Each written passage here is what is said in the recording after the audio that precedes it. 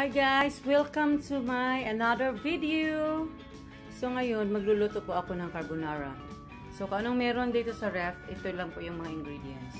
So ito, may cheese ako, butter, tapos may onion, may mushroom, may garlic, tapos mga sauce dyan, mga white sauce, saka maglagay ako ng ground beef kasi wala akong bacon.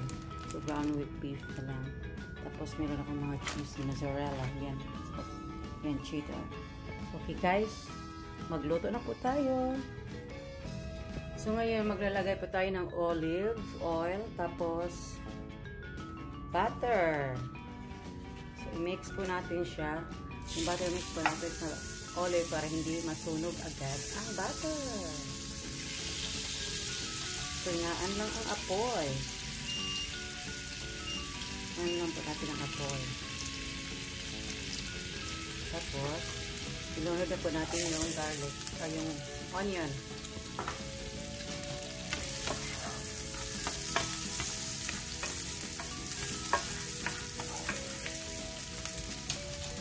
Tapos, garlic.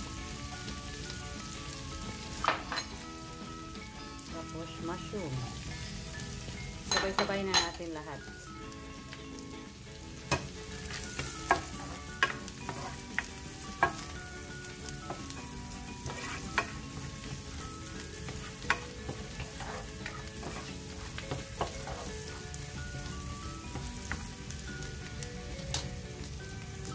After this, sunod na natin yung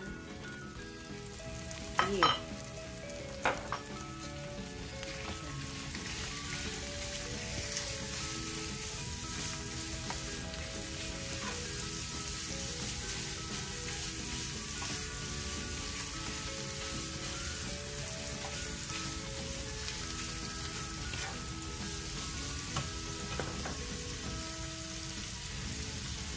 So, ang ginawa ko pong pampalasa sa beef, uh, sa ano cubes. Ito po. Beef cubes. Para lumasa yung baka.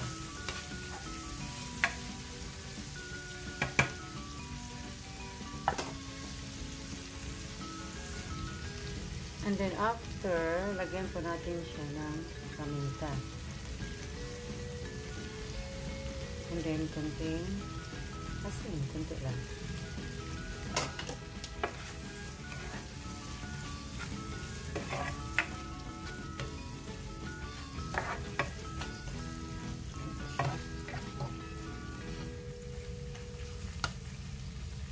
Kunti lang yung baka. Ayoko ng maraming baka.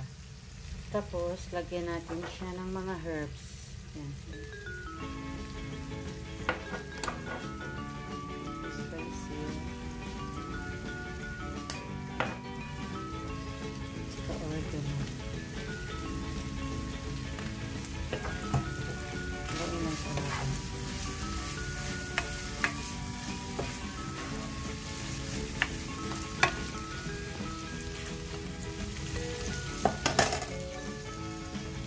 Guys, kasi wala akong sweet cream.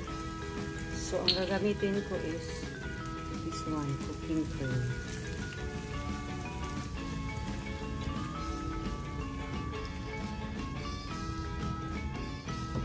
Tapos ito siya.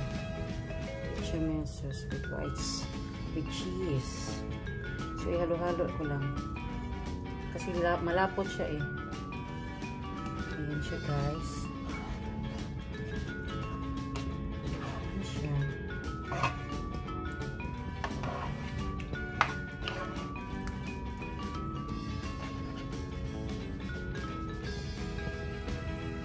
Tayin na natin siya mag-simmer.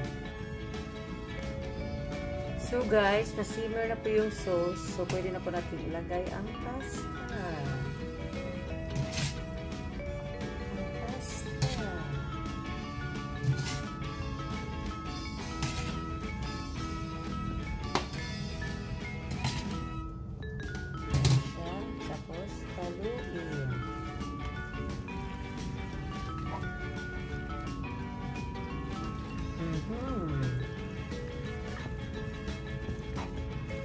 And ilagay natin yung mga mga cheese para lumapot siya ng lumapot.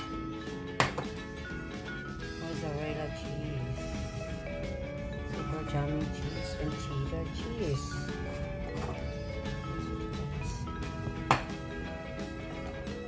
So, ito lang po yung version ko. Okay, kung anong meron sa ref, lutuin. Ayan siya.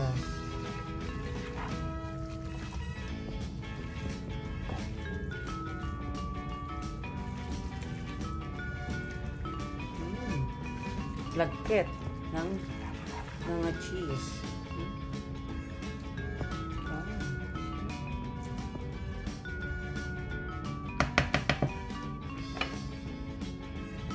Guys, luto na po yung carbonara natin. Luto na po, luto na po siya.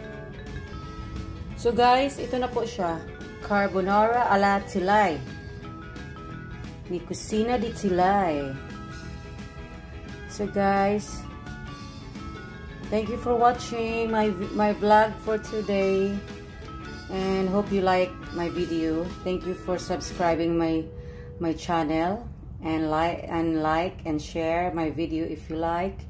Thank you guys. God bless us all. Bon appetit.